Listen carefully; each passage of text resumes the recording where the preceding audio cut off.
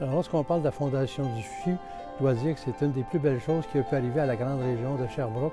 Vous savez, ça part des infirmières aux médecins, par toutes les procédures, quelles qu'elles soient, de la prise de sang à un examen oncologique.